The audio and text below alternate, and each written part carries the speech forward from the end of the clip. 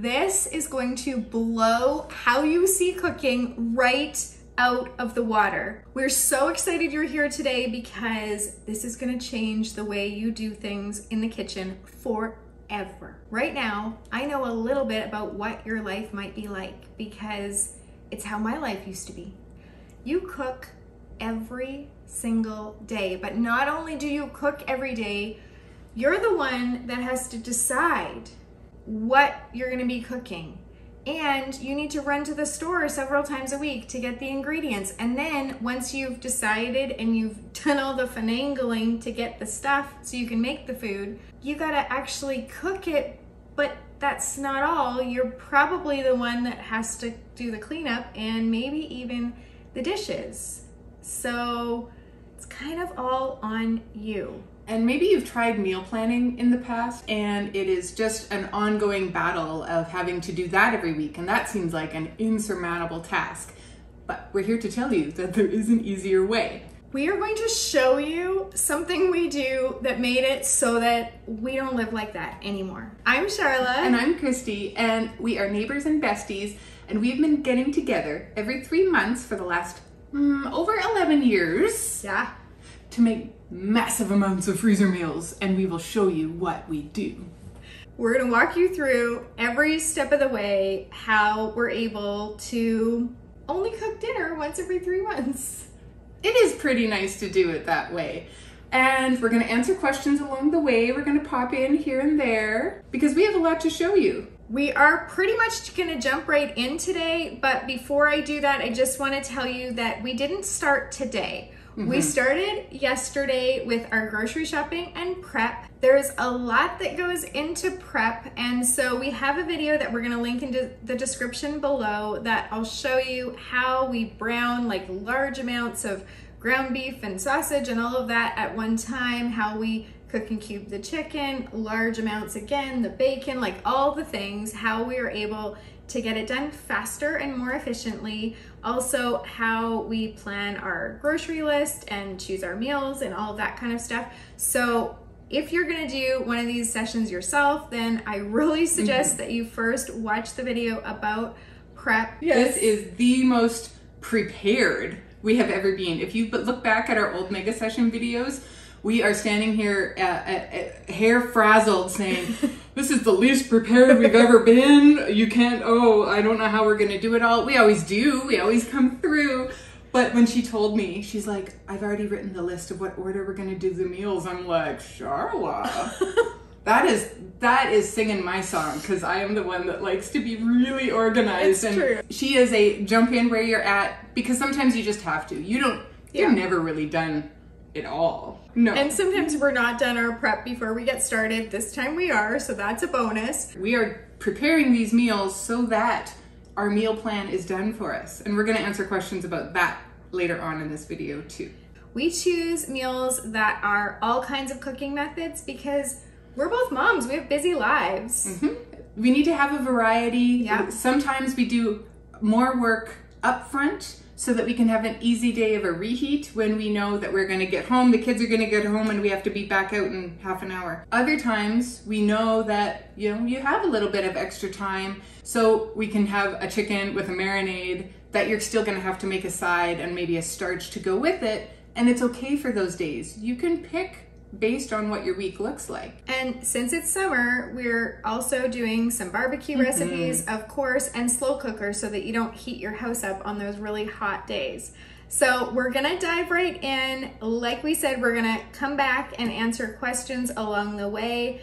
It should be a lot of fun. It is a little bit tiring, but we're gonna give you some tips on how to combat that later too. This Thai chicken satay I've never done as a freezer meal before, but I have made it up fresh and I have especially made the satay sauce, which is homemade, and this one is delicious. So we're really excited to have it as a freezer meal. It is more involved than most of our meals are, so that's why I'm getting it out of the way pretty quickly here. To make your satay sauce, you're actually gonna do it on the stove top in a pot. You're gonna combine some olive oil, minced garlic, Thai seasoning, and chicken broth in your pot. Bring it to a boil and boil it just for one minute. Then you're gonna remove it from the heat and add brown sugar and peanut butter into a medium bowl and whisk in the hot chicken broth mixture. Then you're gonna mix in lemon juice, sesame oil, and soy sauce. You're going to take half of that once it's cool and place it into a medium size freezer bag. That's a quart size freezer bag. And then you're going to take some chicken breasts, cut them into strips because when you make this, you're going to thread those strips onto skewers if you want. If you want to do it more simply, you don't have to, but you're gonna get them ready so that you can. Then on those chicken strips in a large resealable freezer bag, you're gonna put the other half of the satay sauce. You're gonna squish it together to combine, remove the excess air and seal. Then in another quart size bag, you're going to mix together some sun-dried tomato and oregano salad dressing, brown sugar, and red chili flakes. Squish that to combine, seal it, and you're gonna staple all three bags together above the seal. The reason for that is on the day that you go to cook this, you're going to put your marinated chicken on some skewers, roll them.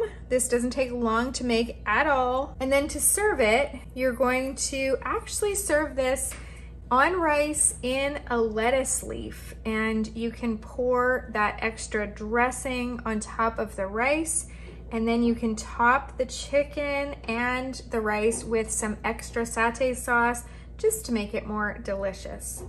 This country sausage and hash brown casserole is perfect for a large family or for a big event. If you've got a gathering to go to or a potluck or brunch where you're having company, this is a great one. It can be served as a dinner or as a brunch, breakfast casserole thingy.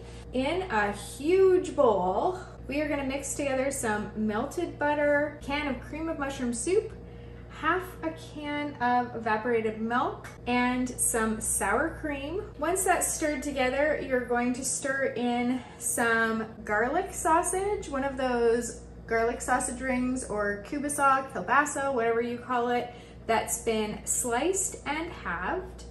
And then you're gonna stir in some diced onion, diced green pepper, shredded cheddar cheese and Cajun seasoning. You're gonna stir that all together and then stir in a large pack of shredded frozen hash browns. Once that's all mixed together, you're gonna transfer it into your freezer bag, remove as much excess air as you can. It's a little bit tricky when you're working with things that are already frozen, like the frozen hash browns, but just do the best you can and, and you're gonna seal it, freeze it, and this one is going to be so nice to have in the freezer. It's especially great if you've got a large family like I do. This is our world famous red sauce. It's available in the club and you are going to see fantastic Italian things go in here like tomato paste, tomato sauce, diced tomatoes, and, and a good assortment of spices.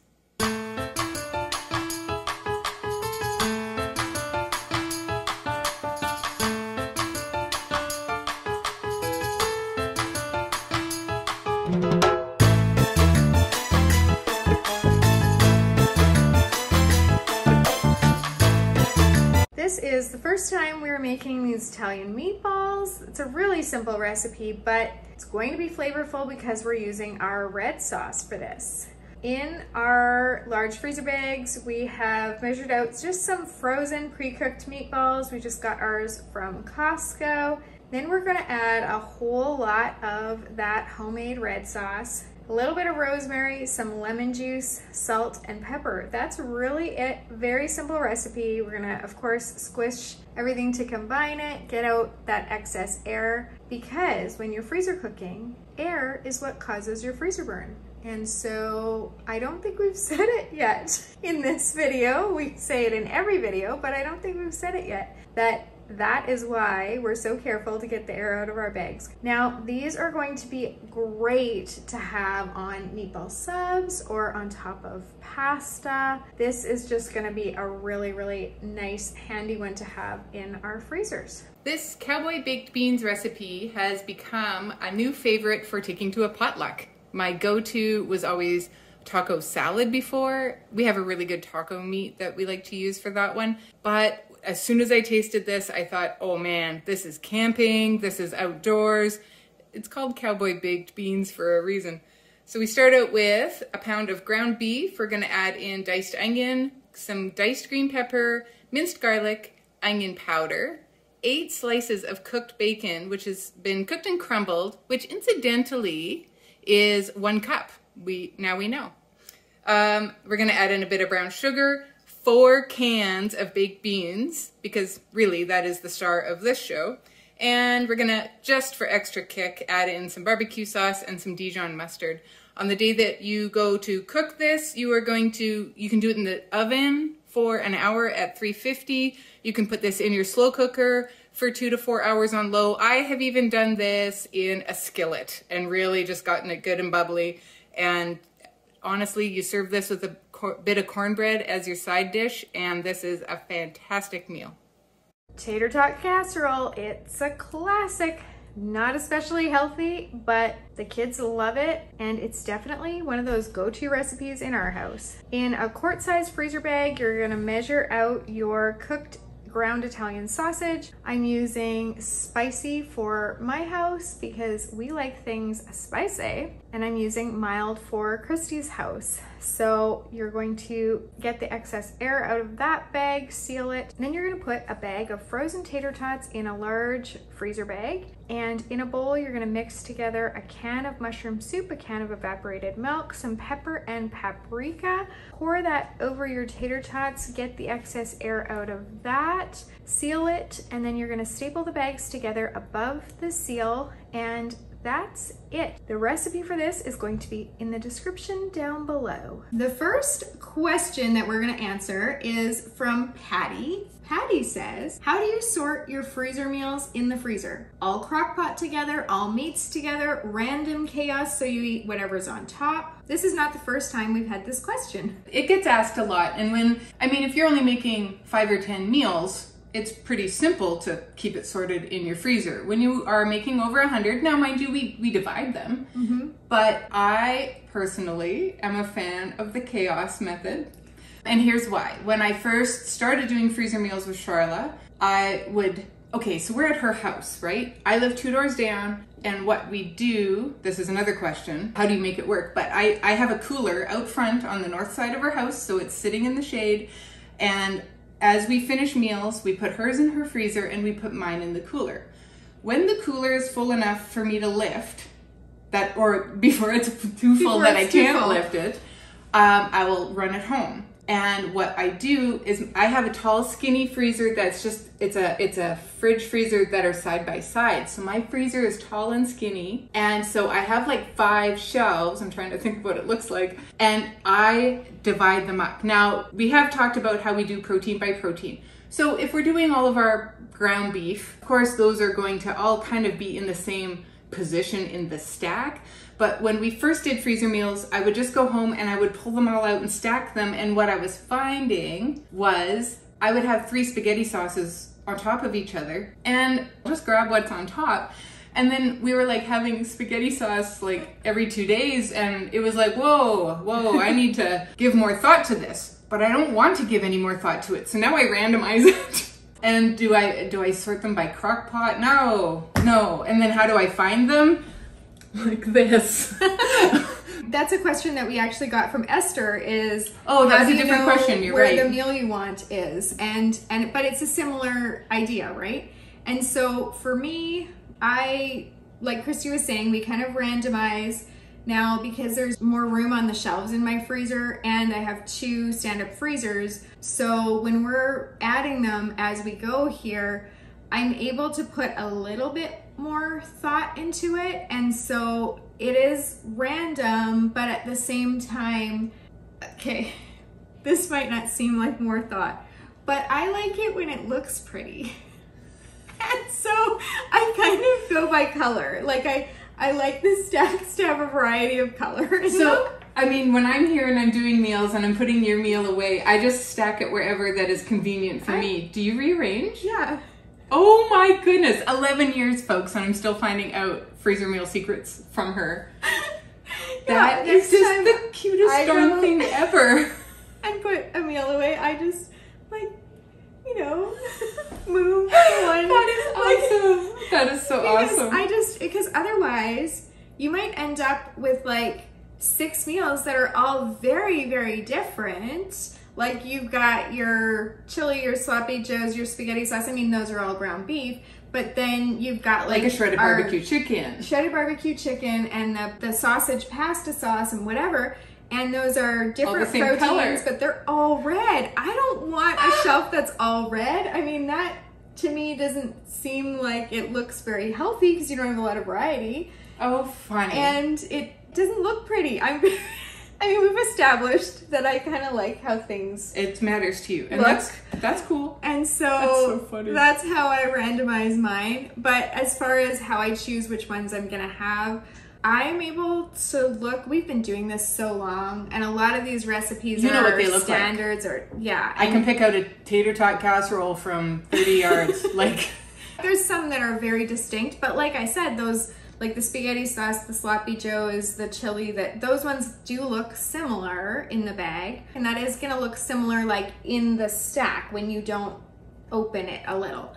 And so I'll go through, and once they're really frozen solid, you can lift them off each other. And then you can kind of have a look at that label because, of course, we label all of ours. You can put your labels closer to the bottom and that way you don't have to like reef so hard to be able to see it when you're when you're doing this in your freezer. Now, there are some people in our Facebook group. If you are not in our Facebook group, you need to come and join our It's Freezer such Meals an 101 amazing Facebook group. group. It is the most beautiful, kindest, helpful Yes. group on the inter on, on all of Facebook, probably on the whole internet. Yes. Um, there are some people that are very rigid in their beliefs of how it should go in the freezer, and sometimes they just have to for space. Yeah. Sometimes they are just Sometimes They- they, sort by protein or they sort by cooking method. they just want to take it to the next level of organization. Yeah. And there's nothing wrong with that. I mean, some people have um, divi- like containers for each cooking method or for each protein. Those and big those are in their reusable shopping bags are a good option because Yeah. they hold their shape and you can put five or six in them and you can move them around in your in your big chest freezer. Mm-hmm. You know, um, another mom she will take them from the big freezer and meal plan and put them in her kitchen freezer so that they're handy. Maybe her deep freeze is in the basement or in the garage where it's inconvenient for her to go.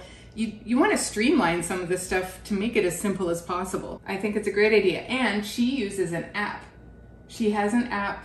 Angie, I'm talking to you. It's called Todoist. You also, on our website, have put a freezer inventory list that you can grab. You know, you can be as organized or as chaotic as you want. I'm just a big fan of the chaos. Which is funny because I'm so organized in other parts of my life.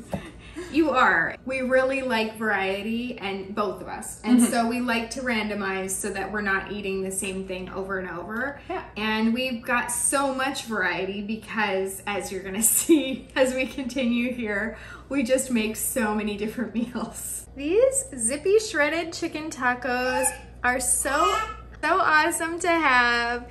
They're super fast to put together because we're talking four ingredients here, people. All you're gonna do is put some boneless, skinless chicken breasts in your large freezer bags. I've put three in each bag. Because this is a shredded chicken recipe, three is gonna be plenty even for a larger family. Then you're gonna add four tablespoons of taco seasoning, two tablespoons of dry ranch seasoning. We've bought ours from Bulk Barn, or you can use a packet, but it won't take the whole packet, just two tablespoons. And then a can of fire roasted diced tomatoes. That is it. We're just gonna squish that all together to combine remove the excess air, seal, and freeze. These are going to be a great option for tacos this summer. This chicken tinga is so unbelievably delicious. You cook this in the slow cooker or the instant pot, and then you can serve it in tacos or on tostadas or in enchiladas or on salad. It is just so flavorful. You're gonna start with putting your boneless, skinless chicken breasts in your freezer bags. And then in a large bowl, you're gonna mix everything else together. And actually, we're gonna run an immersion blender through it. But I have run out of bowls because that's the reality when you're prepping so many ingredients and your bowls are being used to hold diced onions or diced peppers or sliced peppers or cubed chicken that's cooked, like all the things. So I'm using a pot because we just make do with what we've got. In your pot or bowl, you're going to put some olive oil, some onion that's just really roughly chopped because this is getting passed through an immersion blender, so it doesn't really matter what those onions are like. Some minced garlic, we're using ours from the jar. And then you're gonna add some chipotles in adobo sauce. Now, these come in a can and you're gonna add the sauce along with it, but you're not gonna add the whole can for each recipe. If you like things spicier, you can add more. And I, of course, love spicy, but I have to be cognizant of Christy's family too. So we're just gonna use the normal amount.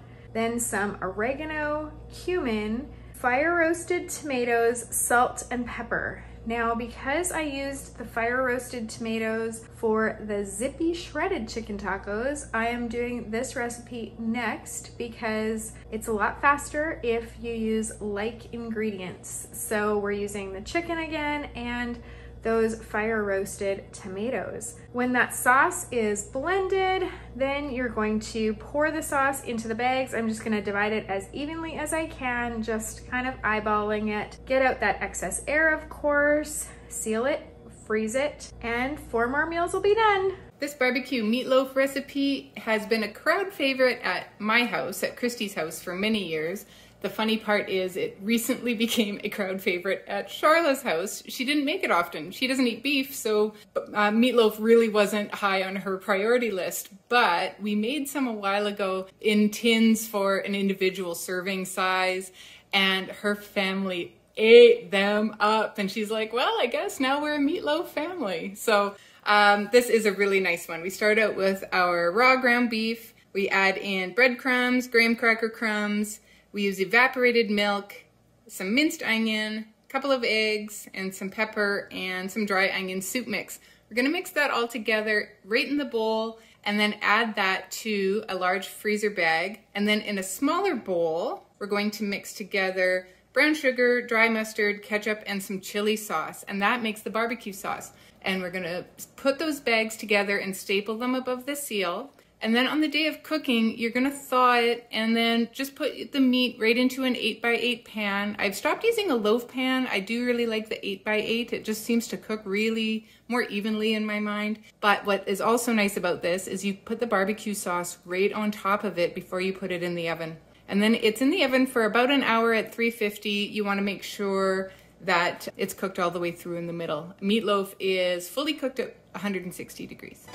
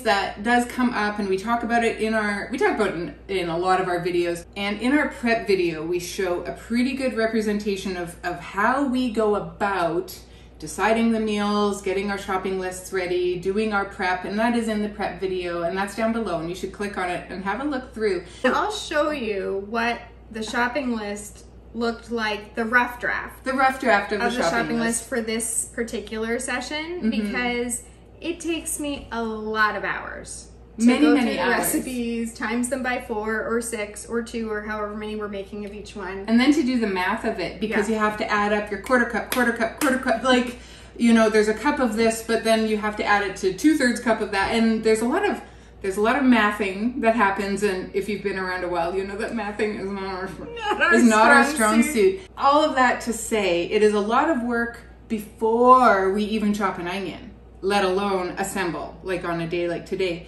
So what Charla's brain did, she decided, you know, if we're teaching people how to make freezer meals, we need to give them a way to do this for themselves at the click of a button, and that is what we have for you.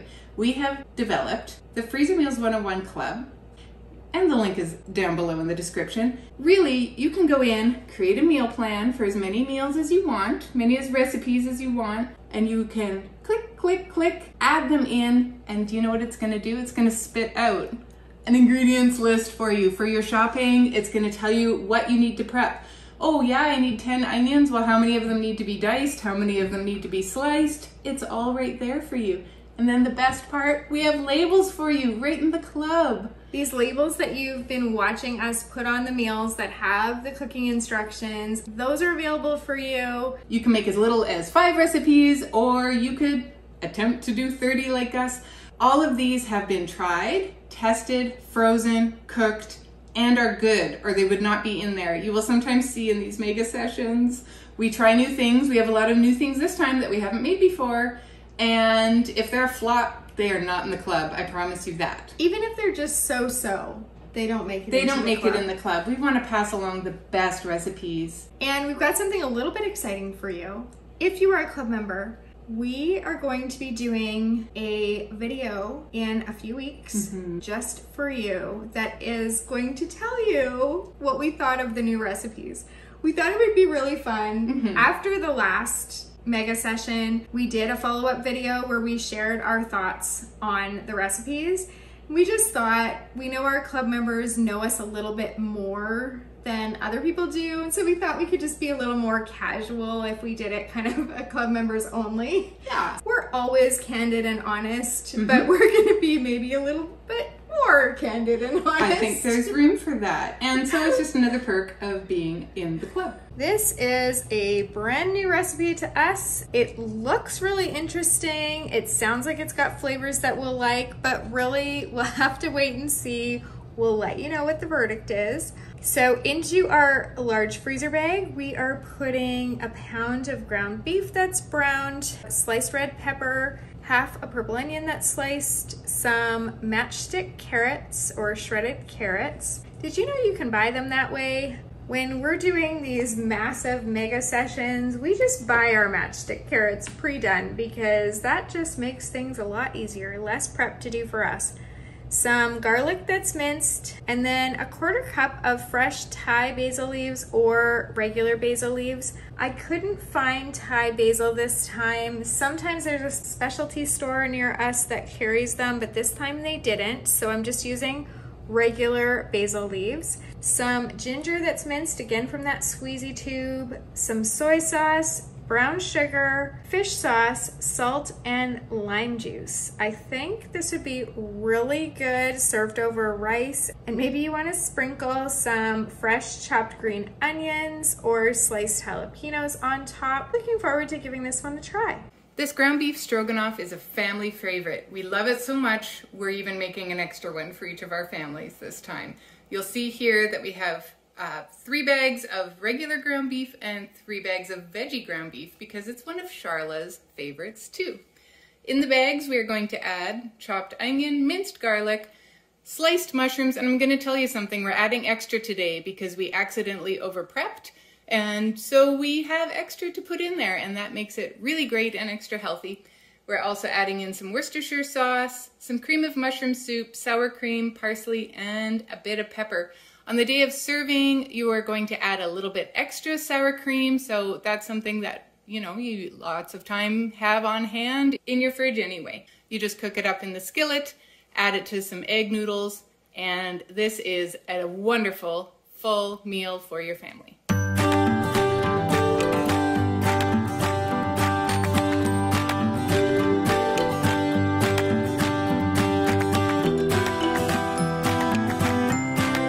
One thing that we find really helpful and saves a surprising amount of time is to keep measuring scoops in our items such as our ground beef, onions, peppers, those kind of things. For ground beef or ground sausage, two and a third cups equals one pound. So if your recipe calls for one pound, it's super easy to be able to measure that out and measure it into your bag. We just keep these spinach artichoke quesadillas are amazing. We have recently been a little bit obsessed with them. So we decided to add them into our mega session.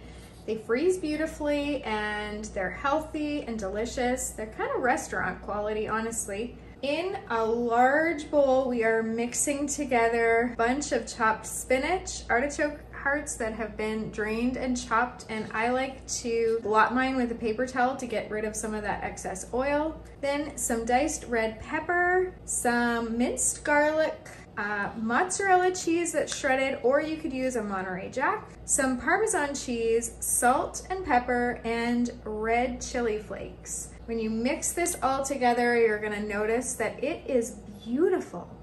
Those colors just let you know how healthy this is going to be. Then you're going to lay down some parchment paper on a baking sheet. You're gonna put about a third of a cup of that mixture, or you could go as much as half a cup on half of a flour tortilla, fold the other half over on the baking sheet. You're gonna put the baking sheet in the freezer to freeze flat. Now, the reason that we're doing this one pretty early on day one is because we need that freezer space to be able to freeze these. Once they're frozen, we're gonna transfer them into large resealable freezer bags. These are great for dinners, for lunches. They are really great if you live on your own because you can take them out one at a time and you will be really happy to have these in your freezer.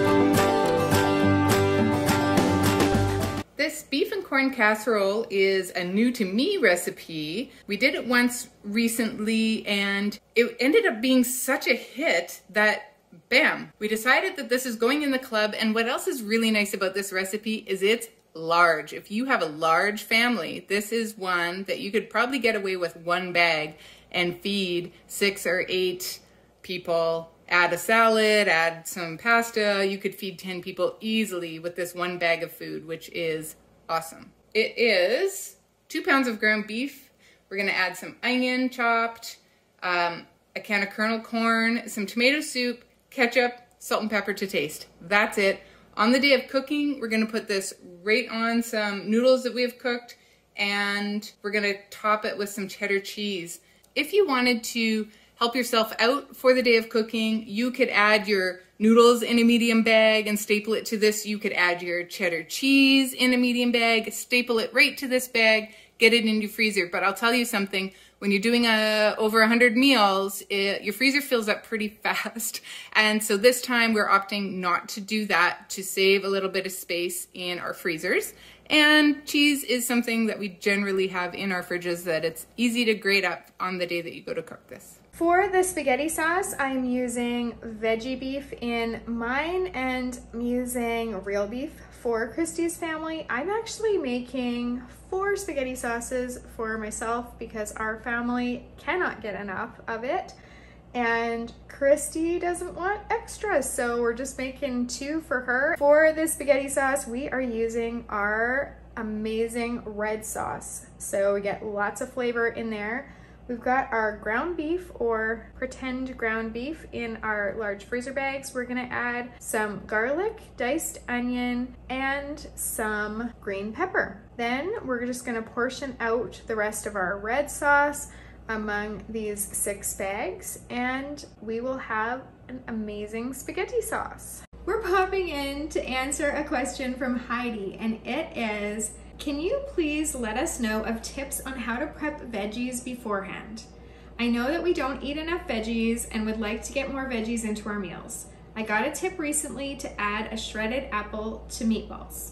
I have quite a few picky kids and Christy has a son who's picky. Mm-hmm. So we have over the years developed quite a few strategies of sneaking veggies in. Yes. You can do shredded zucchini, shredded carrots. Because those just about disappear, especially in like a pasta sauce or in a chili, which already has vegetables anyway, which also means that my son is less likely to eat them because he can see the onions. Oh no. um, funny enough, we were talking earlier when we were making the ground beef stroganoff. Um, like I had mentioned, we have excess of mushrooms today. Yes, uh, it was just a. It's hard to judge how many cups yeah. mushrooms are going to make when you're looking at them at Costco. And so I said, let's take all of them. so now we have like twice as many. So we were joking, you know, we're going to put extra in the beef stroganoff or anything that has mushrooms in it today. And my son does not like mushrooms. but he loves beef stroganoff. he loves the beef stroganoff and it's got mushroom soup in it. I can't get him to eat mushroom soup, but he will eat these mushrooms because it's in the beef stroganoff. So if you make it delicious enough, they might eat it. But if you notice in our meals, there are actually a lot of vegetables in them already. There's some veggies that are kind of snuck in, and then there's some obvious veggies. How many cups of carrots did we prep? How many how many zucchinis did we prep? I did 40 cups of onions yesterday. We did almost that much in peppers. So Yes, we did. We, oh All oh my goodness, we had 19 red peppers to prep and oh, I forget, like There's 16 cups of 15 spinach. red peppers and then five yellow peppers. Yes, there's 16 cups of spinach. So there is a lot of vegetables in this. If you want to take it a step further, and we, I don't think we have any side dishes in this list that we're doing no, this but we time. often do. we sides. often will do sides that you can freeze ahead. If you look in our club or if you look on the website, we do have a lot of sides that you can prepare and have ahead. So there are options for vegetables for sure. And you are completely right about the shredding the apple and putting it in the meatballs. The other thing is model eating vegetables in front of your children. If they see it every day and see it as a normal part of your eating, they're to be more likely to eat it. This Sicilian pasta sauce is one that I haven't made in years and years and years, and Christy's not actually sure if she's ever had this. So this might have been before I started making freezer meals with Christy when I used to make them on my own. Either way, it is so delicious, and I had kind of forgotten about it. But now that I've remembered, it is definitely going to go into our regular rotation. In our large freezer bags, we are putting in some ground Italian sausage that's been browned, again with our house having the spicier version and Christy's house having the mild. One onion that's minced, some sliced mushrooms. We've got some extra mushrooms today. so We're being extra generous on the mushrooms. Some green pepper that's diced, red pepper that's diced, and diced zucchini. As you can already see, this one is so incredibly healthy. Lots of veggies in there. Then some Italian seasoning, oregano, curry powder, and here's where it gets a little strange. We're gonna add some butternut squash soup. You've got two options here. You can add butternut squash soup from your grocery store or deli, or you can add our recipe for curried butternut squash soup. If you add our recipe, then you're just gonna omit the curry powder. Then you're gonna add a cup of chunky salsa. Again, a little bit of an ingredient that you wouldn't necessarily expect in this dish, but it all goes together beautifully and tastes amazing. And you're gonna add just one cup of water, and that's it. You're gonna take the air out of that bag, squish it to combine it, and this goes beautifully on top of pasta.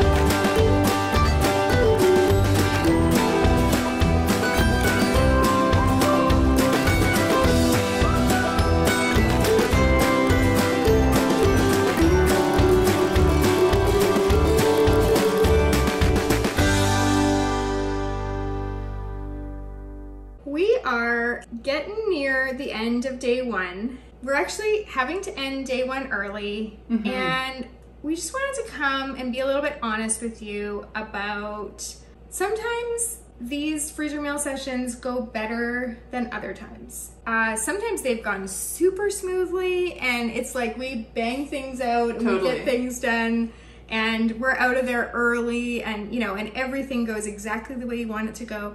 And there have been other times where they're bordering on disastrous. Like, I remember one time you called me and you were like, I think I'm getting sick. But we had bought all the groceries mm-hmm. and prepped all the groceries. And, like, what do you do with three months worth of food for two families if you can't get it done and get it in the freezer? Like, One time, the day before meals, I was moving furniture with my husband, and I hit my face on a bench, Oh, yes, and it broke. It cracked my tooth, that's right. and so I had to get an emergency dental appointment for the next morning. And so I phoned for Charla, and I'm like, my husband hit me in the face with a church pew because because it's more exciting to say it that way. He's he doesn't regularly hit me with furniture, but but it was like okay, uh, or for how many times have we forgotten about an appointment? yes. Or there's something that we just absolutely can't move. We deal with it and you move on because you kind of just have to jump in and do what you can because done is better than perfect. Um, it all gets done. We both have something to go to today, this evening. So after after prepping all day yesterday and cooking all day today and assembling, my daughter's getting an award at school. It's her first one, and she's in junior high, and she's awesome. And we're gonna go. We she doesn't know what the award is for. It could be for interior Attendance. design. It is not for attendance. I will tell you that.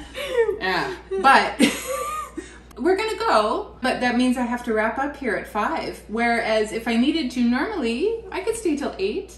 Totally. We we've sometimes we don't like to stay that late, but I mean we have sometimes done that, or at least you know five thirty six, or kind of run into like go until we're tired or whatever. Mm-hmm. And for me, like I was doing prep last night, and so our ceiling sprung a leak in the kitchen right above. I'll show you, but right above Christy and I, there is a hole in the ceiling. We are literally filming under a hole in the ceiling because my washing machine, which is we think we estimate 15 to 20 years old. We're not entirely sure because it was not.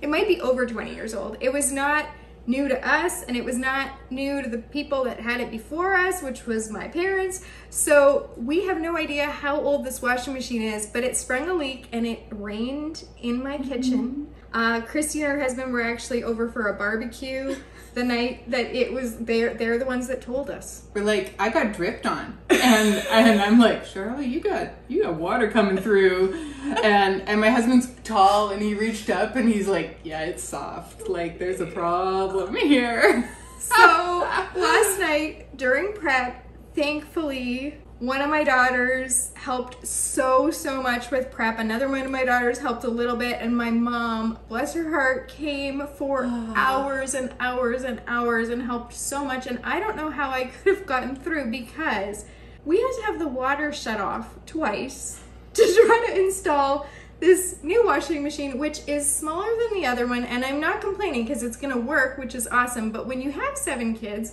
smaller is not quite what you're You have a for. baby in the house. And we have a baby in the house. So my goodness, we've got laundry. So that was a problem because you know, you've got a lot of dishes to do when you're doing prep and when mm-hmm. you're getting things ready. And so we didn't have access to water for a couple of times, not the whole day or anything. And then also I have a torn rotator cuff. So I'm moving slower and there's things I literally can't do. And so I'm having to ask for help, which is not my strong suit. She's been great at it today, and she has pasted a smile on her face, even though I know she's in pain. Yeah. Um, she's not normally a drug taker, but she has resorted to taking meds for it today, and they have not been really taking the edge off the way we hoped. No. So we are powering through in more ways than one. Now, we do have a secret ingredient that does show up on freezer meal days that you probably don't have, and that's Charla's mom. And we love her, and we're so grateful that she's here because Um, she does dishes for us. She opens up cans for us. She is a runner for us, and she even moved the red sauce over that giant Yes. tub of red sauce. She moved it over so that Charla could could do it, and she's just an extra hand when we need it, and we love her. so everybody needs a Charla's mom on freezer meal day. and today, honestly, and yesterday, she's been my extra arm. It's true, Because I'm a little bit one-armed and trying Yeah. to do things and like hoist. This one kind of it won't go a lot higher than this, so I'm, you know. But um, we're telling you all of this not to complain. We're telling you this because if you wait until things are perfect before you attempt to do this yourself, and if you wait till you've got the right circumstances Yeah. and until your days are totally free and like, you know, you won't no. get around to it. You won't you won't get started. So you just got to jump in with where you're at and there are days when our prep isn't done. We said that at the beginning. There are days when we are started and I show up and I'm chopping onions because I did not get to it the night before. We know you can do this regardless of your circumstances. We hear from people People are doing it have all over. Yes, like Yeah. who have all kinds of physical limitations or space limitations or Mm-hmm. Dietary situ- limitations. Uh, yes. There's yes. And they're doing it. So we know you can do it too.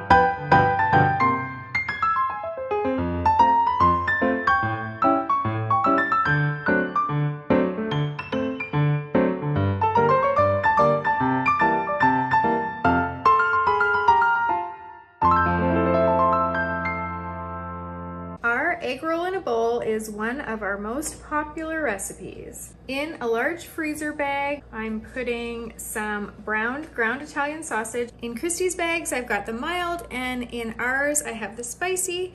Then I'm adding some onion, some minced garlic from the jar, carrots that are shredded, some onion powder, ginger. We use the squeezy tube ginger because it's already minced for us and it's nice and fresh tasting.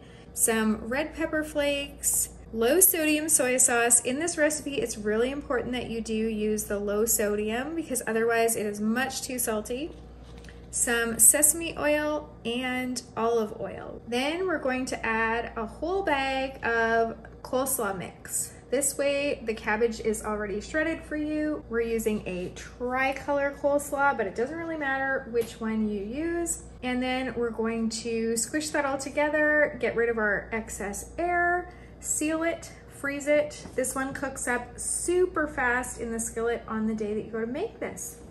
This is our recipe for Kathy's Lazy Rouladen. It is really one of our favorites, and it was a surprise favorite because it has some really interesting ingredients.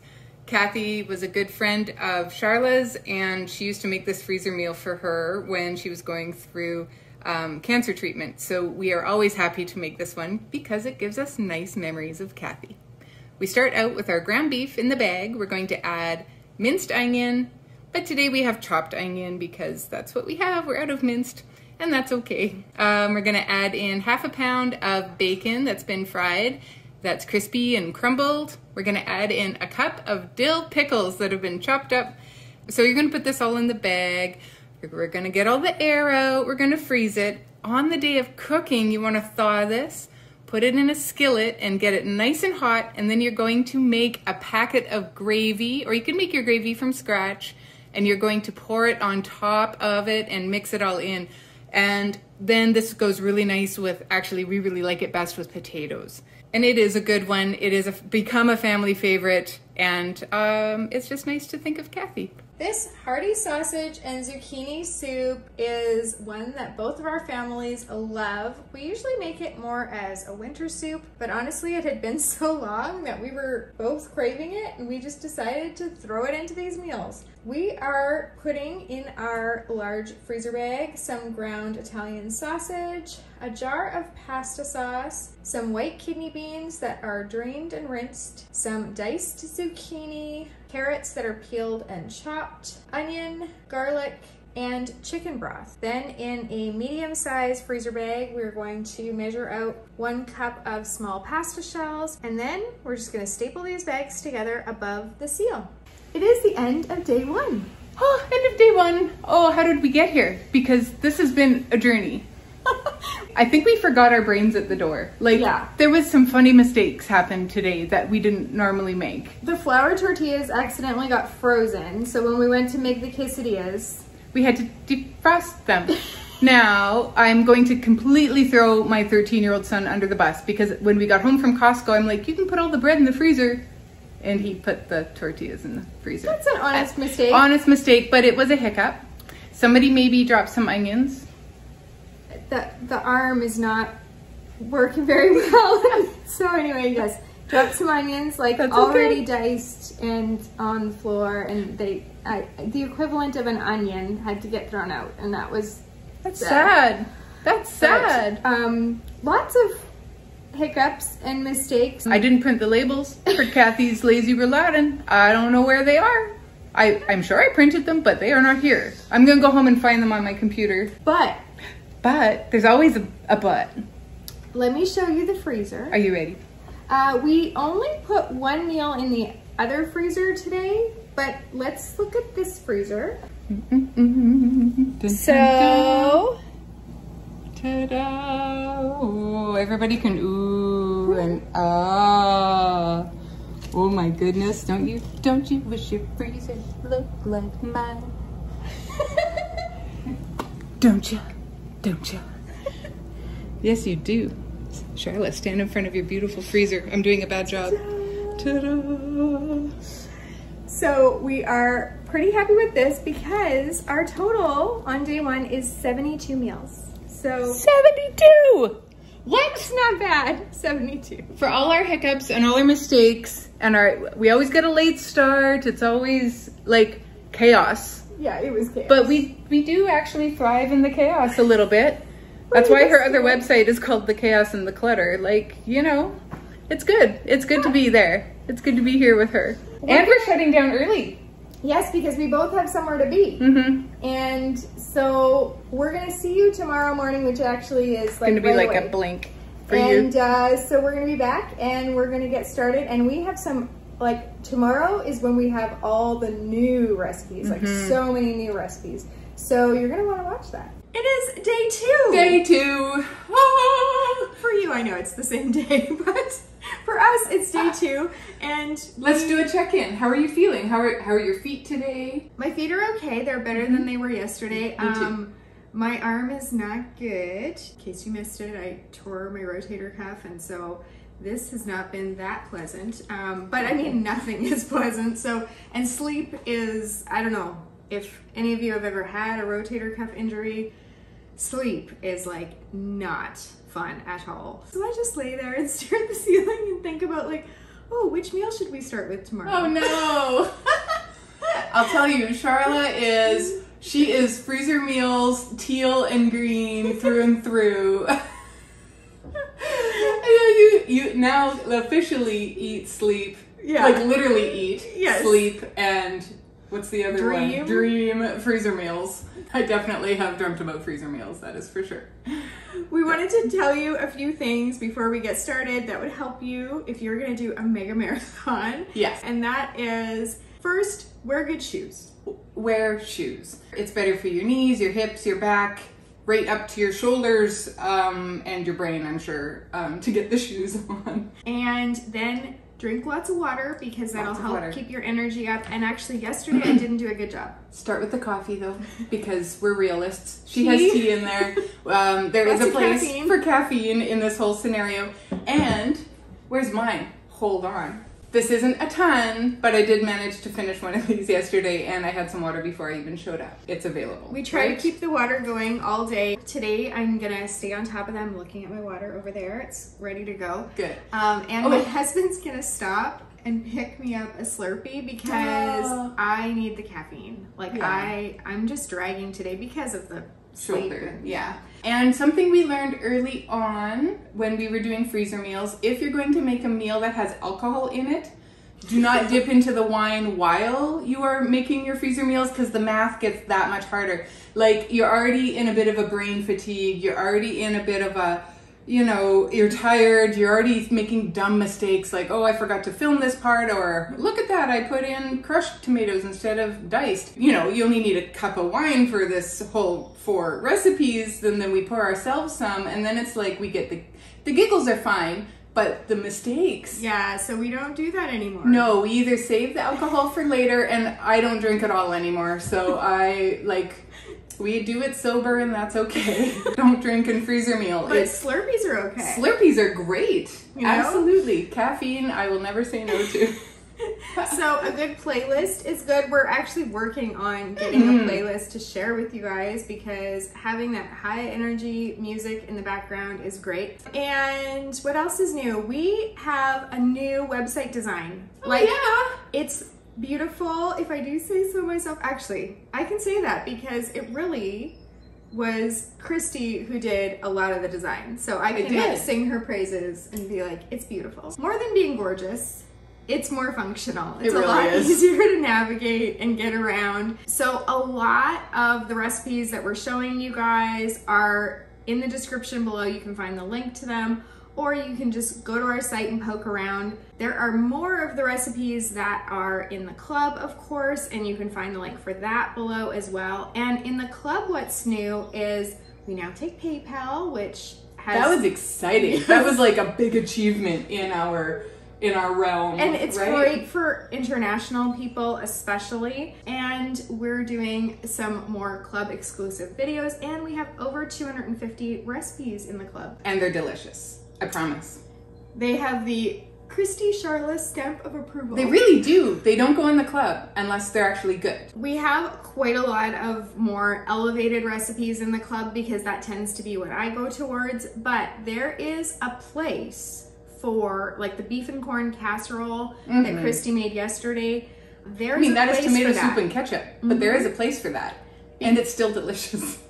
easy to put together ingredients you probably already have Kid friendly. kid friendly budget friendly you know just family friendly there's a place for Mm-hmm. And that. it's a big one. Like it is Yes. a big recipe that could easily feed a large family. I think I said that yesterday. So there is a real mix. There is something for everybody in the club. Freezer meals are for everybody. if this is one of your first time watching our videos then you might not know that i'm a mom of a large family i've got seven kids not all of them are living at home right now one of our sons lives in another province but we do now have one of our grandbabies or our only grandbaby living with us he's 10 months and so we have a really large family christy's got more of an average size family We're a nuclear family. boy and a girl Two adult. what, what do they call it? The million dollar family. oh That's what I. That's what I like to say the best because it's me and my husband and my two kids. I have two teenagers, a boy and a girl. And my husband, he works shift work and he hates sandwiches. So actually, freezer meals have been a huge help in my life because if this can feed her family of nine. And I mean, sometimes you have to put stuff together. Sometimes your girls do eat like birds, Yes, where they my do. children sometimes eat like a crocodile. I don't know. Um, they're hungry, like, like growing children. Like growing children, and but there's enough for my husband to take for lunch. So you know, there's really this has just been a lifesaver. This has been the best thing I've ever done. Oh, me, me too. Just, yeah, me too. And today we're gonna be doing, starting with, Christy's gonna do some chicken thighs. She's already prepped these at her house, so they're, the chicken's already in the bags. I've trimmed it up. I've taken off the extra fat bits. Sometimes there's bone left in, boneless, skinless chicken thighs. You want to go through them, trim them up, and uh, one Costco tray will make two meals. So two trays makes one recipe, and so it's already done. Today I can just go dump, dump, dump, dump, dump, and mm-hmm. they will be fast to put together, and that is going to be 12 more meals in the freezer. And I'm gonna get started on some cooked cube chicken. I cooked it up on our prep day and then my daughter cubed it. so, so thankful that I Okay, one of the best things that happened is her daughter has an interest in cooking and has taken culinary in high school and is, is Yeah. looking to go on to culinary school. So, uh, yeah, we have help with our prep. Yeah, and I pay her because I'm nice like that. Um, And it's worth it. It's, so worth it. It's so worth it. When you're doing cooked cubed chicken, it's really handy to know that one cup is about one chicken breast. Now, of course, like some chicken breasts are larger and some are smaller and whatever, but it kind of averages out so that one cup e- equals one chicken breast. So if your recipe calls for three chicken breasts, you're gonna put three cups of the diced chicken in the, in your bag and it's just a super easy way and just like we do with the beef and the ground sausage and the onions and the whatever we're just gonna put a one cup measuring thing in with the cooked chicken and I can just easily scoop it up. So it's just those tiny little things, mm-hmm. like having the knowledge that one equals one and whatever Right. is super helpful, but also just having those little cheats and those things we've learned over the years, like keeping your measuring scoop in there, just saves a ton of time. It does. And for your prep, um, so you know, we do the same thing for onions, like Charla mentioned. Onions sometimes they're small, sometimes they're large, sometimes they're huge. We just average it out as one cup equals one onion. And so that sometimes means we have some left over more than we run out ever. Um, and for cheese, four ounces is about one cup of shredded cheese or a little over about a hundred grams maybe 120 grams. Canadians australians i see you. Um, and so that's how we decide how much to cheese to buy so she'll give me yes this this one called for nine cups of shredded cheese which is actually kind of low it's one of the low. lower We've had 40 cups of shredded cheese before. Totally. And so I, I bought a block that was 1100 grams at Costco and shredded that up, and that'll be perfect. Mm-hmm. Mm-hmm. Now, the other thing about day two is that at the end, we get some leftover ingredients. Like Christy was saying, we might end up with some extra onions because we'd rather have too many than too little. And so at the end, I invent recipes Yes, with what we have left over, or I go into the club and click on you know the protein that we have left and see what populates or i type in the ingredient that we have left in there and see what populates. And so i did that this morning and so i've added two recipes onto our list because Uh-huh. we have leftover spinach like crazy Did I overestimate the spinach? We needed 16 cups. So I'm standing there at Costco. I need to measure a cup of spinach. Yeah. And so I'm looking at these big bags and I'm like, well, because that looks like, four. oh, I didn't math. Oh, I got 60, 16 times four. I think, because I decided this would fill, okay, hang on. Oh my goodness. In my mind, I'm like, okay, four cups yeah this blob would go there, this blob would go there, but then you chop it, so I'm like, I'm gonna need more. So I doubled it, but do you know what I really thought? One cup, one cup, one cup, one cup, which is why I bought four bags. yeah so we have four 64 bags. cups of spinach, Yeah. really. yes we do and so But that's an e- spinach freezes. It yeah no it doesn't freeze wilts. in everything It yeah. wilts. It gets. It can be soggy, but it depends what you put it in, and it depends if you chop it or if you leave it whole. so i We have a lot of spinach. So My I bad. did a search this morning in the club for spinach. I know that we're gonna have leftover cooked cube chicken, Yeah. and we're gonna have leftover, or we already have leftover ground sausage because we finished all the ground sausage recipes yesterday, and we have leftover.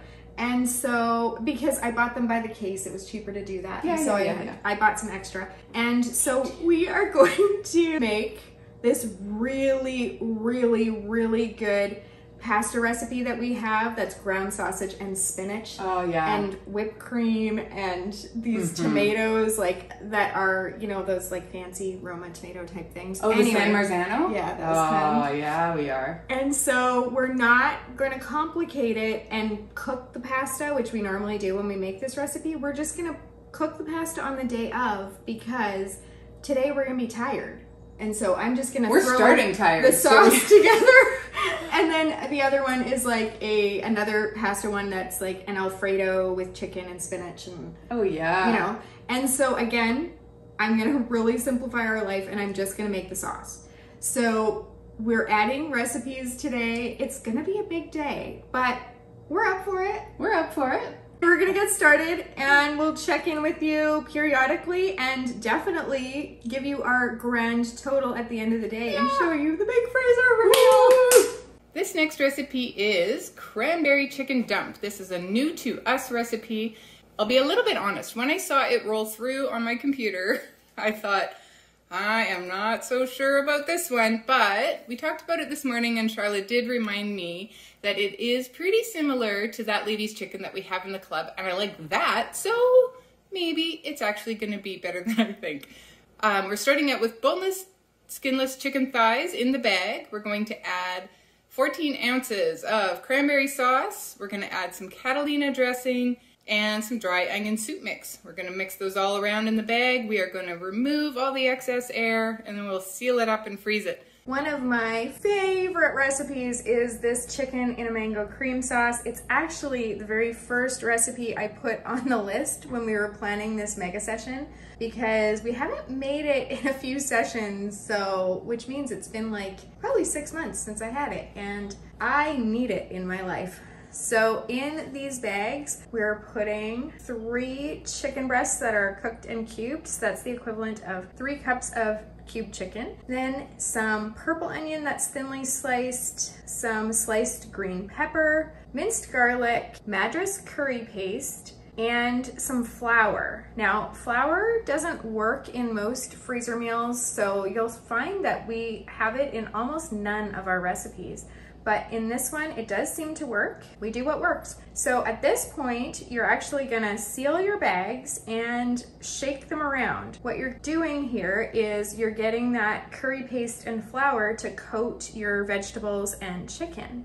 Then you're gonna open your bags back up and you're gonna add some chicken broth, some mango tangerine juice, but we haven't been able to find mango tangerine juice for about a year. So we're just using mango juice, some evaporated milk, mango chutney, and of course, red chili flakes because I love them in everything. Then you're gonna take the excess air out and seal your bag, freeze it. This one you serve over long noodles like spaghetti or linguine. You can top it with more chili flakes and grated Parmesan cheese if you like. It is just so flavorful. Give it a try. This is our second attempt at a Creole. We have tried a seafood Creole in the past and it was, uh... So we're gonna try this chicken Creole and I think it's gonna be a winner. We started with our boneless, skinless chicken thighs. We're going to add tomato sauce, diced onion, diced green pepper, minced garlic, red wine vinegar, Worcestershire sauce, salt and pepper, cayenne, and basil. We're gonna mix it all together in our bag, seal it up, and freeze it.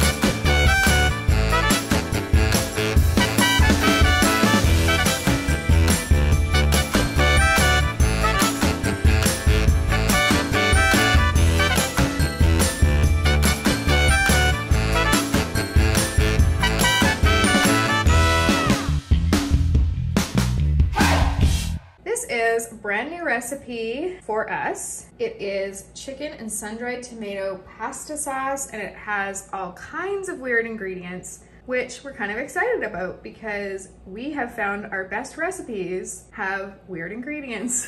Into our large freezer bags, we are putting some cooked and cubed chicken, some sliced onion, bacon that is cooked and crumbled, mushrooms. Now it calls for seven sliced mushrooms. We're gonna be generous because as we've established, we have a plethora of mushrooms. Then we're gonna add some sun-dried tomatoes that are sliced and both of our families really like sun-dried tomatoes so I'm thinking already this might be a really great one. Some lemon juice, Madras curry paste. Now we use the Madras curry paste in that chicken and mango cream sauce that I just did and when I'm choosing recipes, I try to choose recipes that have similar ingredients because then if you're buying that jar of Madras curry paste, if you can use it in multiple recipes and use up the whole jar, it's just more economical. And it also cuts down on time if you're using the same ingredients.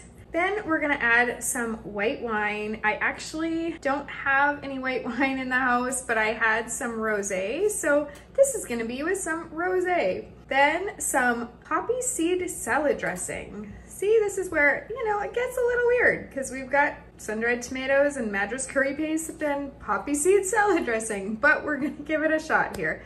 And then a can of evaporated milk. We're gonna squish that all together. We're going to get the excess air out, of course, seal it, freeze it, and this can be served on spaghetti or linguine. We will let you know what we think. Hi, kitty. Oh, you're so cute. This sesame mustard chicken is another new one for us. Um, we started with our chicken thighs in the bag. We're going to add in a bit of beer, some sesame seeds, some honey, some Dijon mustard, some garlic, and salt and pepper. We're going to squish it all and remove that excess air, seal, and freeze. Kayla asks, how do you meal plan with what you have? Do you make a list every week so you can get the sides you need and know what to thaw?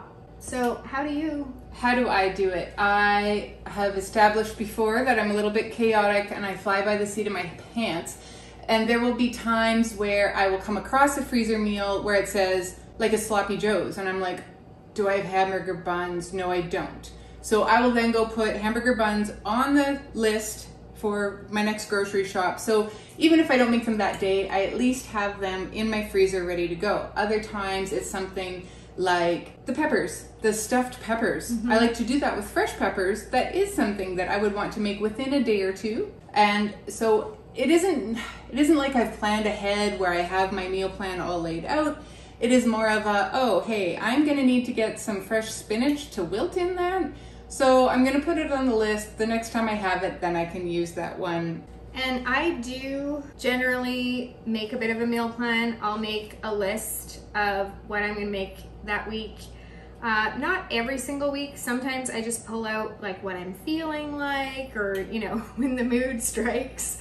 But or you um, forget you had something in there and you're like, oh, yeah, I found a seafood curry. I'm, I'm so excited.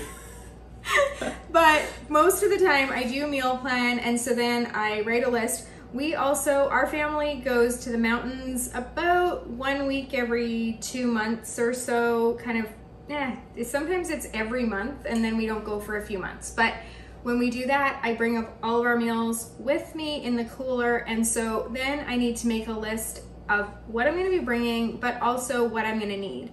Mm-hmm. So um, I already have our list because we're leaving in two days to go and do that. So it's busy, busy this week. Um, and so I have a list. I'm gonna be trying some of the new recipes, but I know, okay, with that sun-dried tomato chicken pasta sauce one, I'm gonna need some spaghetti or linguine noodles. So I've got a list of what I'm gonna need for that. And yeah, and or what I'm gonna bring with me. Like if we're bringing the beef stroganoff, then I'm gonna bring egg noodles because mm-hmm. I know that I need it. I do something so, similar for camping. When mm-hmm. we go, okay, I need. We have four days. I'm gonna need at least four suppers. Maybe I could have a couple of lunches in there too with freezer meals. And because our family goes four wheeling like quadding, then you're looking at things like do I need slow cooker? Do I need fast, quick to prepare? Do I need something that I could possibly do over the fire? like skewers or something. So there is a bit of planning for that sort of stuff. Your mountain holiday kind of reminded me of that. That yes, there Yeah. are there are times, and I will sometimes take meals back home with me. I grew up in northern Alberta, and I still have family up there. My mom is up there, and so I go and when I'm going, I don't want to put all the cooking on her. So I will take meals with me, but I also I want you know. Are we going to need big ones for my brother and his wife to join us, or is it going to be just little ones for for us? You know, so there's some planning that way, but by and large, not a planner. You're a fly by the seat of your pants. And uh, we've talked about this in other videos, but Christy tends to use her meat marinades first because she likes to do I'll tell you why. Size. Because my husband loves potatoes right. over rice or pasta. Rice or pasta are faster, they're easier, but we are a real like we're both farm kids. I've said this before, we are real meat and potatoes people. So those chicken in the marinades or the pork chops or if we ever do steak, which we rarely do because sometimes steak just needs to be like fresh, right? Yeah. Um although we do have a steak coming We up do, in this yes. one. Um, yeah, so we I go through those the fastest because I will make a traditional supper with the the meat and the vegetable and the potato, the humble And- potato. I leave those to the very end. Like, we know that we're getting to the end of the freezer meals when my freezer is full of just salmons and marinades and chicken in marinades. And you like the big the big meal, the full all encompassing meal often. Yes. Or something you can make with a pasta. There's a lot of pasta I, sauces. I like pasta.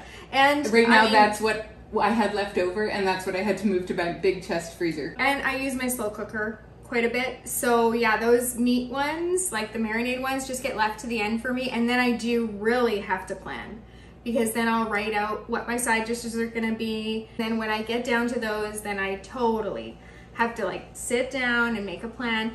But sometimes we've got some stir fries that are veggie only and so I can use that as a side. Or um, sometimes we make side dishes, like freezer meal side dishes. We've talked about that, and Yeah. so I can use those. And when I do make freezer meal side dishes, then I actually use those marinades a lot faster. Yeah. When we're at home, our kids just make their own breakfasts. Some of them get fancy and make like eggs and hash browns or omelets, and most of them just do, you know, toast or cereal or oatmeal. But when we do go to the mountains, then I usually bring breakfasts with us. So whether it's like waffles or French toast, hash brown casserole, frittata, like all those make ahead freezer meal things, and I bring them with us.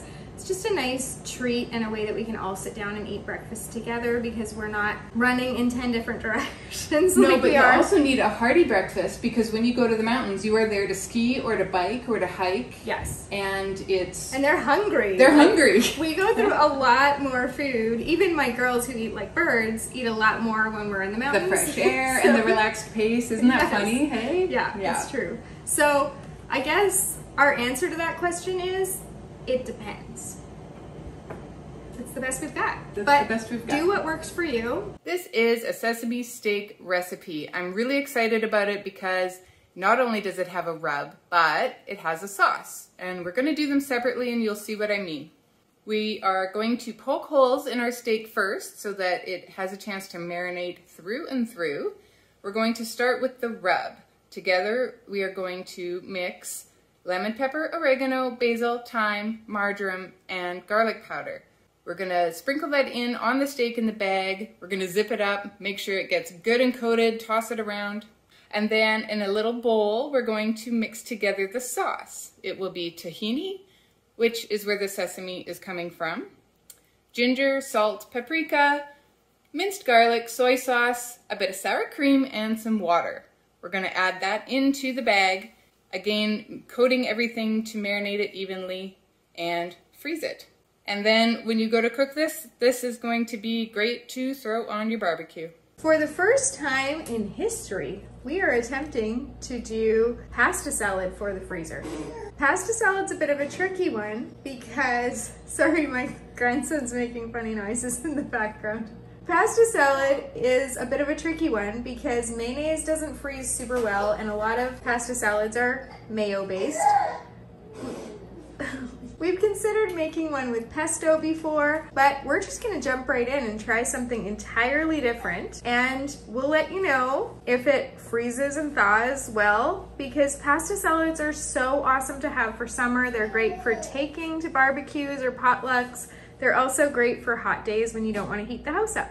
So into our large freezer bag, we are putting some chicken breasts that are cooked and cubed, some pasta that we are cooking. Now we're not undercooking it. Usually when you do freezer cooking, you undercook the pasta because you're gonna be reheating it.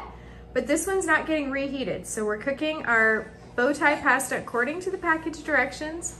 Then we're adding some cooked and crumbled bacon, some Parmesan cheese, salt, pepper. Now we're making two variations on this because we wanna really give it a try. So in one, we're doing lemon juice and some Caesar salad dressing. In the other one, we're doing lime juice and a jalapeno ranch dressing. I think these are gonna taste amazing. When you serve them, you can serve them just like this, or you can add two cups of romaine lettuce that's been washed and torn into bite-sized pieces, you could also throw some croutons in there if you want. This can be a full meal because you've got your protein and your carb. And if you add the lettuce, then you've got your vegetable.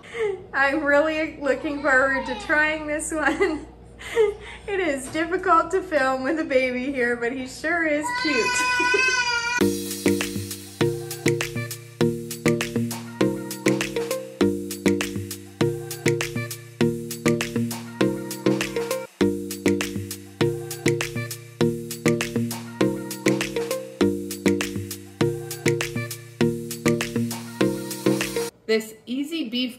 goulash is a new one for us. We start out with our beef strips in the bag. We're going to add in some sliced purple onion, red pepper, yellow pepper.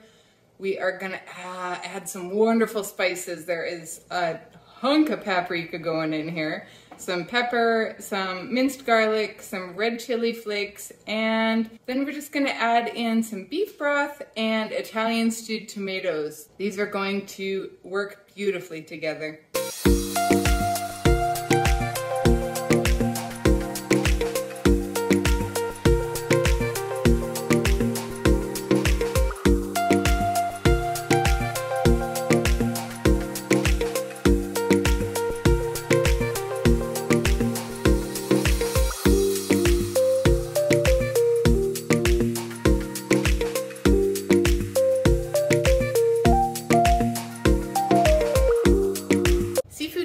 Pasta is probably in my top three of favorite freezer meals. We've been making it for a long time and I just love it. My whole family loves it. It's an easy one to put together on the day of cooking. And so that means it's a little bit more complicated up front in that we have a couple of steps. So we are going to start out by putting shrimp and scallops, each in their medium bags. Normally we would do that. This time we're skipping the scallops. Um, the price on them has just skyrocketed. If they were on sale, I would have gotten them, but when I was just standing there looking at Costco, I couldn't make myself pay the price. So we're gonna skip the scallops on this one, and that's okay because freezer meals are for everybody and you just have to make them work for your family. So we do have bags of shrimp that are in medium bags. They'll get stapled to the big bag. So in the big bag, we're going to put in half an onion that's sliced. We're going to put in mushrooms. Now, it calls for six sliced mushrooms. Again, we are um, really being generous with the mushrooms today because we have a little bit extra. Uh, we're gonna add in some chopped sun-dried tomatoes, some curry powder. It's not a lot, just one and a half teaspoons. This isn't a super heavy curry flavor going on in this recipe. It is just nice and mild. It gives it a little bit of zip is what it does. Also giving it zip, some pineapple juice, and then we're adding in mushroom soup and evaporated milk. We're gonna mix it all together. We're gonna staple it to the bag of shrimp, and then we will serve it with pasta on the day of cooking. This cabbage stir fry is another new one to us. You will notice on the labels at the end that I had sent it to Christy as a cauliflower stir fry, even though it has no cauliflower in sight. So Clearly, my brain was not that functional that day either. But anyway, this is going to be a great cabbage stir fry, even with the cauliflower stir fry label. In a medium bag, we're going to put some low sodium soy sauce. Really important in the recipes that we call for low sodium that you really use low sodium or it will be too salty. Then some vegetable broth, sesame oil, rice vinegar, minced garlic, and a bit of melted honey, and of course, red chili flakes. You're gonna squish all that to combine, seal it, and then in a large freezer bag, you're going to put some sliced mushrooms, olive oil, sliced onion, sliced red pepper, quite a lot of carrots that are cut into matchsticks or shredded. And again, we just bought those pre-done. Some ginger,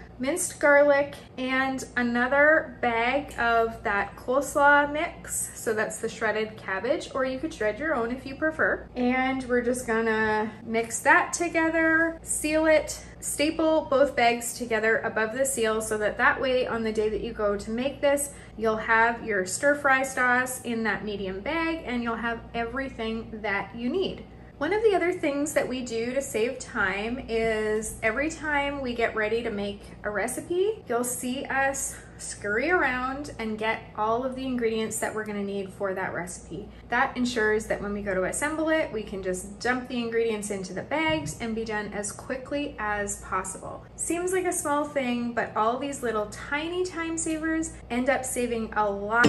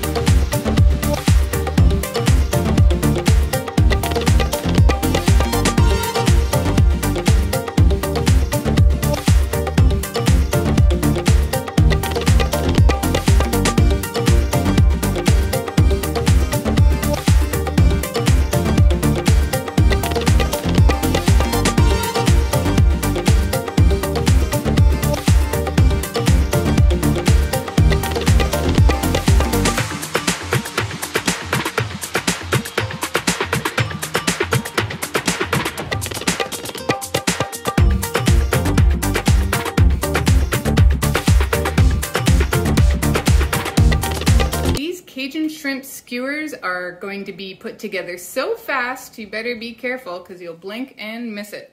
Into each bag, we're going to add a pound of shrimp. We're going to add in plenty of Cajun seasoning, some olive oil, lime juice, and that's it. We had a brainwave one day that we did not need to skewer our stuff up front and freeze it already skewered. You can easily put that in a bag and do the skewering on the day of cooking. So that is what we're going to do with these. You could also serve these on pasta. You could serve skewering. these on, you could totally skip the skewer altogether and just serve these on pasta. They would go nice with, you know, like a steak or a yeah, barbecue. Barbecue because of the Cajun flavoring. These are pretty versatile for being a humble shrimp. Asian rice bowl is a great recipe, especially when you're on day two and you might want to get rid of some of your extra ingredients. I chose this one purposely this time, but I knew that we would probably be throwing in some extra things. You're going to add to your large bag some snap peas or sugar peas, some carrots that are peeled and sliced, now it calls for green onion, but we've got white onion sliced left over, and so I'm gonna be using that. Then some water chestnuts that are drained, some minced ginger, minced garlic, rice wine vinegar, soy sauce, sesame oil, melted honey, and sriracha sauce. We're also adding in a can of baby corn that's drained. And because we have leftover mushrooms, we are adding in the rest of our mushrooms. And who knows what else might make its way in here. This is our world famous corn chowder soup, and we are making eight because we love it that much. It's a really great one for summer. It's a great one to have for company. It's mild, it's not super corny, it's just super lovely. We are starting out with some onion. We're going to add in mushroom soup, evaporated milk, cream corn, kernel corn, and some chicken broth, and the best part, a little bit of bacon. Then we're going to divide this giant tub into four equal bags. This is the biggest bowl we have. I think Tupperware makes one bigger, but this is the biggest bowl we have. And it, this will divide nicely into four bags, and then we have to make a second bowl. There is a lot going on into this soup. There's about seven and a half cups per, per bag. bag. Yes, there's about seven and a half cups per bag. It has taken a lot of trial and error to get us down to that amount, um, but that's where we've nailed it down to be. We are popping back in to answer some more questions. One of the ones we get all the time is how do you keep the bags from sticking to each other? Mm-hmm. It makes sense that they might freeze together when they are all kind of forced into the freezer in a short amount of time. But we don't really have that problem, and there's an easy solution. Two things will prevent your bags from sticking together, and one is that you never want any moisture, wetness, anything on the outside of your bag.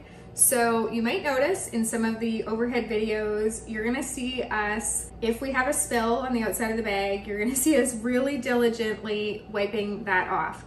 And that's the reason we don't want our bags to stick together. Mm-hmm. I guess like when you have frozen things that are in there, it can kind of create some moisture because the of the bag. condensation. Mm-hmm. Like when you're putting in something that's room temperature on top of something that's frozen, there might be like even right now we use frozen shrimp. So mm-hmm. when I made the Cajun shrimp, I always put them in Charla's freezer until it's time to go home because I don't want them to defrost in my cooler at all. But yes, by the time I get them out of her freezer, into my cooler, and into my freezer, there is a chance that they're already starting to have condensation on it. They're they're a little bit wet, and so I there's no point in wiping them really because they're just going to continue to condensate. I just put them in and I hope for the best, and I really don't have a large problem with it. And the other thing is just making sure everything is cool before you put it in your bag. Yeah. That's for two reasons. One is that helps prevent freezer burn.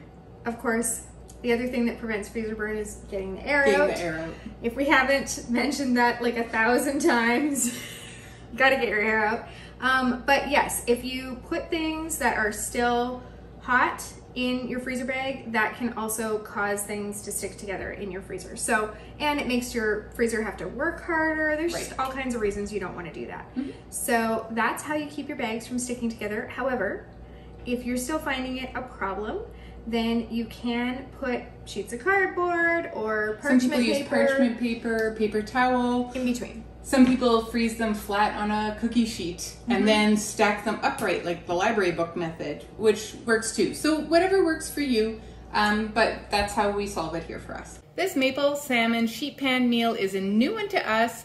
And what's nice about it is you can bake everything together on a sheet pan, and we're giving you a good head start with the freezer meal. We start out with one sweet potato that has been peeled and thinly sliced. Then we have our salmon fillet in here that has been um, sliced up and is ready to go. In another bowl, we're going to mix a clove of garlic with some salt and pepper, some olive oil, lemon juice, and a little bit of maple syrup. We're going to put that mixture over the sweet potatoes and then we're going to put a little extra dollop of maple syrup in with the salmon because there is no such thing as too much maple syrup. Then we're going to mix it around, get the marinade in there good, staple these together, and then on the day of cooking, it's such a nice one because we can put everything out on the baking sheet. You can add your salmon to it with the sweet potato. You can add some baby potatoes and some asparagus and make this into a full meal. These Thai chili chicken lettuce wraps are so great for summer because you serve these on lettuce with some crunchy steam fried noodles so you get that awesome crunch. They're like the lettuce wraps that you get in a restaurant as an appetizer. You can have them as an appetizer or as a main. We have seriously brought these to people's houses when they've asked us to bring something along and it's a pretty impressive one, I have to say. So in your large freezer bag, you're gonna add some ground chicken that is cooked already and then some minced garlic, onion, cashews that are roasted, uh, some more matchstick carrots, red pepper that's diced, fish sauce, soy sauce, and that's it. Then in a medium size or quart size bag, you're gonna add some Thai sweet chili sauce, lime juice, and sesame seeds. You're gonna get the air out of both bags, staple them together above the seal, and this is such a nice, fresh tasting one, and no one will ever believe it's a freezer meal. This is the salmon with brown sugar glaze. It couldn't be more simple. We're starting out with our salmon in the bag, in the large bag. We're gonna close that up and in a small bowl, we're going to stir together a quarter cup brown sugar and a couple of tablespoons of Dijon mustard and add a little salt and pepper. We're gonna mix that up, put it in the medium bag and staple the bags together before freezing. On the day of cooking, we're going to take that Dijon brown sugar spread and literally spread it on top of the salmon and bake it like that. This is gonna be delicious. This is chicken and spinach penne alfredo. Although this time we are only making the sauce, we are not gonna cook up the pasta, but you totally can and just if you do that, you're gonna wanna undercook your pasta a little bit before you add it in because on the day of cooking, it'll cook a little more and you don't want mushy noodles. So into our large freezer bags, we're going to put three cooked and cubed chicken breasts, which is the equivalent of three cups. We're gonna put a jar of Alfredo, some pesto, minced garlic, olive oil, and fresh spinach because of course this is one of the recipes we're using up that spinach in. Now, I do have pesto, in the house, but in my fridge I had a jar of truffle pesto and I thought, hmm, I'm curious what that would taste like. So we're gonna add truffle pesto instead of regular pesto. I think it's gonna be pretty darn good, but we'll have to wait and see. So that's about it. Uh, and then we'll do the next recipe for the spinach as well. So with the rest of the Italian sausage, I'm gonna make the spinach sausage pasta bake and hopefully that'll use up a chunk of the extra spinach as well. I do have a bit more sausage, so I've put it in a quart size freezer bag and I'm just gonna throw this in one of our freezers. I'm actually gonna be nice and give it to Christy. That way it can be used in eggs or hash browns or in pasta or on nachos. It's just great to have. So in our sausage spinach pasta sauce, we're going to use the rest of our ground Italian sausage. Again, Christy's family's got the mild and we've got the spicy. We're gonna use some diced onion, some minced garlic, some Italian style plum tomatoes, and these ones have some basil in them already, which is gonna be a nice addition some heavy cream, so we're using whipped cream, and lots and lots of fresh spinach. Now again, normally we would cook the pasta up and put it in here, but this time we're just gonna do the sauce, and then on the day that we go to make it, we will add the pasta in here. This is a really nice one. These beef fajitas freezer meals have been in our club for quite a while, and you can find the link below we start out with our beef strips in the bag. We're going to add sliced onion, red and yellow peppers, some salsa, lime juice, and Worcestershire sauce. Super easy to get it started.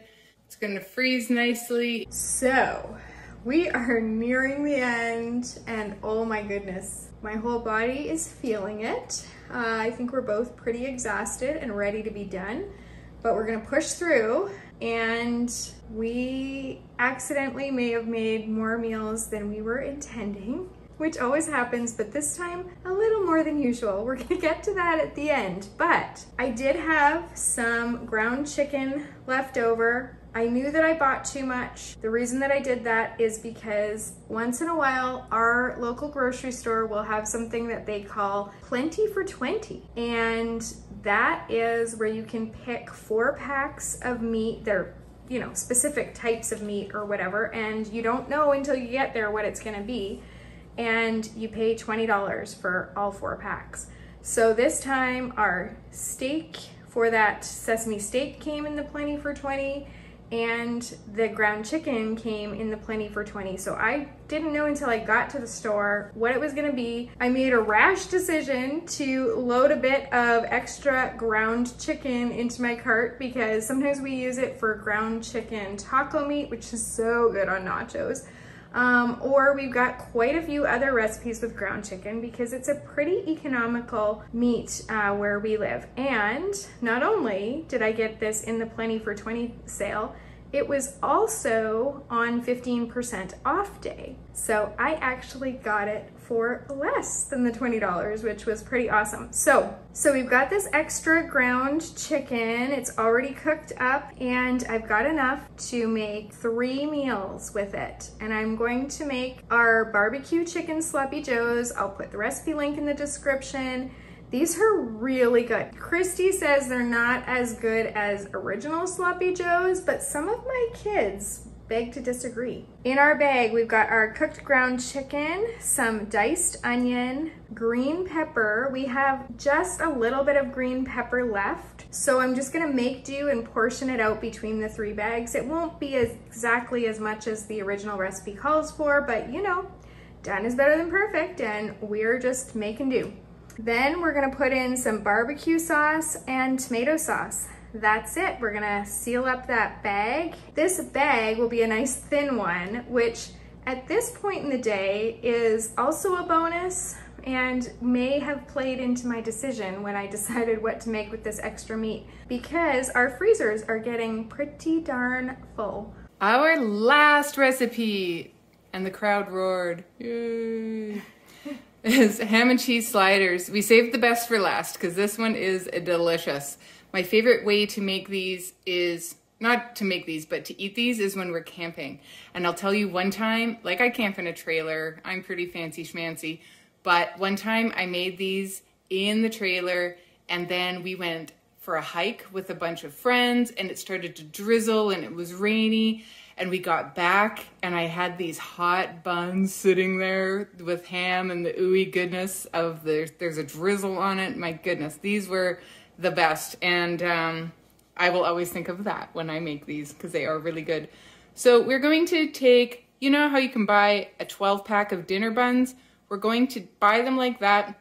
We're going to slice them. You're going to watch my magical knife skills as I slice this entire pack and you can do it however you want. We're gonna open it all up as if it's like one big giant bun. And on the bottom part, we're gonna put that into a baking tray. And then we're going to put our ham and cheese on top of the buns. And then we're just gonna put the top of the buns back on.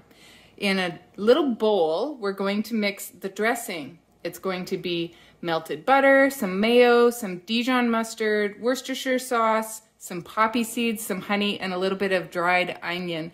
And we're gonna mix that together and then drizzle that down over the buns. Then we are going to double wrap this with some aluminum foil and pop it in our freezer. Now, we were debating whether we were smart doing this last or not. We think we're smart doing it last because then it'll go up the very top of our stack in our freezer and nothing will have to sit on top of it, um, meaning it might get crushed by the meals on top of it on that aluminum foil. I think this is perfect and it's a good bookend to our big day. Hi! Hi, we are at the end of day two. we're laughing so hard, we're crying. I made her I made her laugh so hard she cried. hey, at least I didn't laugh so hard I peed. Oh, so true story. Yay. Um, we're done day two, and can we have a drum roll, please, for our grand total? It is. Dun dun dun dun. We have accidentally, not on purpose, beat our record.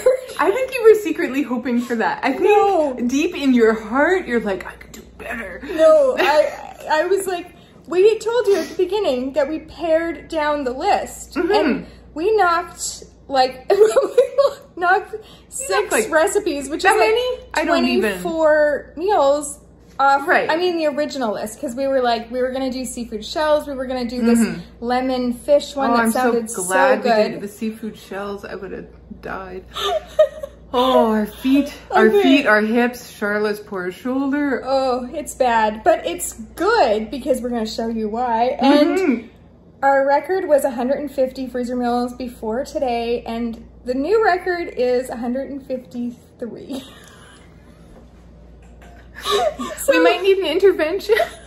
we might need an intervention. Okay, um, this is this, this is, is freezer, freezer, number one. Dun, da, da, da. Insert romantic music. Okay, is that not like one of the most beautiful things you have ever seen in your entire life. like it kind of makes you want to sob. it just makes me want to cry because my arm hurts so much. But Because laughing is very close to crying sometimes. yes, but let's go look at the other freezer because it's pretty impressive too. Taking you on a walk. We have we have funny. We have um see those water bottles? We put three across this doorway to make an like a baby gate to block this room off normally. But okay, freezer number freezer number two. Now it's wow. not as full. It has a few freezer meals for one on top for like lunches and stuff because those it. were there before. It's got a few hockey pucks in there. You probably can't. Oh, can you see the hockey pucks? Because what, what good Canadian freezer doesn't have hockey pucks in it? Did we mention we're in Canada? there are always three or four hockey pucks in my freezer. anyway, Oh, we've okay, reached the giddy point of we today. have reached the funny. Um, we're gonna go back in the other room and we will.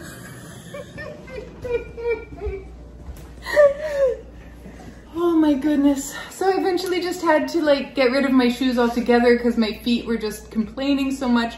So tips, tip number 7,000, it's okay to get rid of your shoes at the end of day two when your feet have complained. And I took, you know, you know when you take skates or ski boots or some kind of heavy duty something on your feet and it just feels so good. That's what it feels like right now.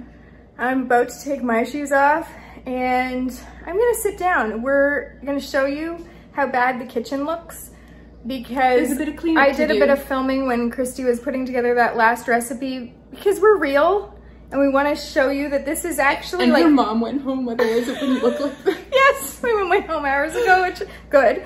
Um, can do that. But uh, It's a disaster. it's a disaster. And so just being real that that this is not like magic. Whoop poof, freezer meals.